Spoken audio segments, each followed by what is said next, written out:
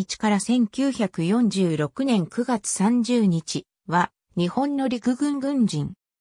最終階級は陸軍中将。太平洋戦争勃発時に第23軍司令官として香港を攻略した。陸軍少将時代の堺。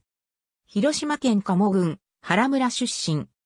神戸一中、大阪陸軍地方幼年学校、中央幼年学校本科を経て、1908年陸軍士官学校を卒業し、同年不評第38連隊付将尉に任官した。1916年には陸軍大学校も卒業している。1924年少佐、1928年中佐、1932年大佐と昇進を重ね、1934年8月から1935年12月まで、シナ駐屯軍参謀長に任じられる。その間の昭和10年5月には、陸軍中央からの命令なしの独断で行動し、勝手に軍を展開させて、中国政府を威嚇、河北省周辺からの国民党軍撤退等を要求し、これを埋めず、何王金協定にて翌月に認めさせるなどを行った。1936年、不評、第23連隊長に就任した。1937年、少将任官と同時に、不評、第28旅団長となり、カルガン口特務機関長、公愛毛教連絡部長官などを経て1939年中将に昇進。1941年11月、第23軍司令官に任命され、同年12月、英国植民地香港攻略作戦を指揮した。1942年2月20日に、磯谷蓮介陸軍中将が、香港総督として着任するまで、香港軍政庁長官の地位にあった。1943年4月、予備役に編入され、1945年2月、北京に堺機関を設置したが、間もなく終戦となり、同年12月、中国国民党政府に戦犯容疑で逮捕された。1946年8月27日、南京軍事法廷で不良及び民間人の殺害、強姦の罪により死刑判決、同年9月30日、南京受け台で銃殺刑に処された。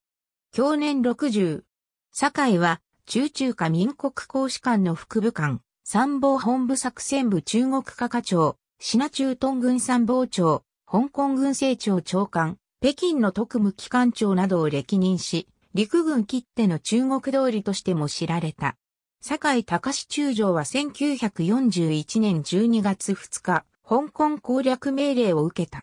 指揮下の第23軍は第38師団が主力部隊で第1砲兵隊や第66連隊、飛行第45戦隊が属していた。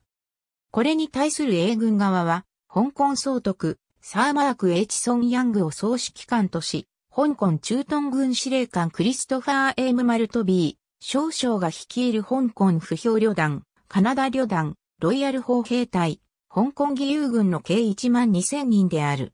英軍は、九龍半島北部の高地に、統治下陣地を構築して、第一線防衛線とし、香港島には堅固な砲台を設けて、日本軍の上陸を阻止する体制であった。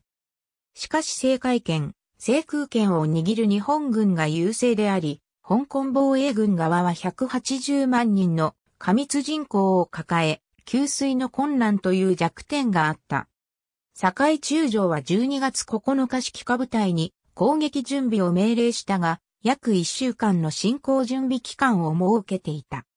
ところが12月10日、九龍半島北部の高地を偵察中の不評、第228連隊の一中隊が独断で手薄な敵陣地に突入し、これを契機に同連隊が攻撃を開始、第38師団全体も釣られるように敵防衛線を突破してしまった。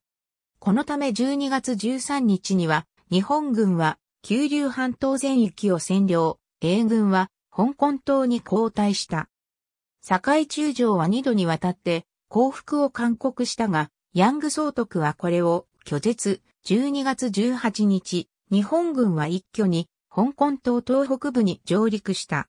英軍は堅固な香港東洋祭によってなおも抵抗を続けたが、12月21日、日本軍は貯水池を占領し、給水を断たれた英軍は12月25日に至って降伏した。日本軍の損害は戦死683人、戦勝1413人であった。異界勲章等。ありがとうございます。